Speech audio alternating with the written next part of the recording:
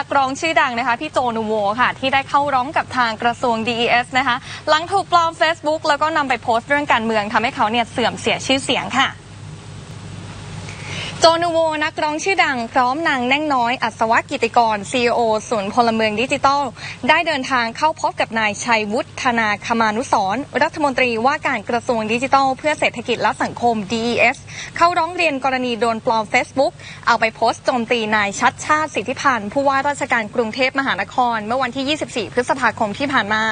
ส่งผลทำให้ชื่อเสียงของโจนูโวเสียหายนะคะแล้วก็เกิดความเข้าใจผิดค่ะ โดยโจนูโวกล่าวว่ามีคนร้ายปลอม Facebook เป็นเขาเนี่ยมานานแล้ว ทุกวันนี้เล่นโซเชียลจะต้องคอยบอกทุกคนว่า Facebook ไหนปลอม IG ไหนปลอม ซึ่ง Facebook เจ้าปัญหาที่ปลอมเนี่ยเขาจะใช้ชื่อบัญชีว่าโจนูโวจิรายุทธนะคะ ส่วนจิรายุทธวัฒนศิลป์ภาษาอังกฤษก็คือเฟซจริงค่ะ โดยทางเจ้าหน้าที่ DES ก็ตรวจพบว่าน่าจะเปิดขึ้นมาใหม่ เพราะว่า Facebook ปลอมที่เคยแจ้งความกับปอทก่อนหน้านี้ถูกปิดไปแล้วค่ะ ทั้งนี้การกระทำดังกล่าว มีความผิดทั้งกฎหมายอาญา พรบคอมพิวเตอร์มาตรา 16 อัตราโทษจำคุก 5 ปีนะคะ ซึ่งทาง DES ก็จะดำเนินการให้ถึงที่สุดค่ะ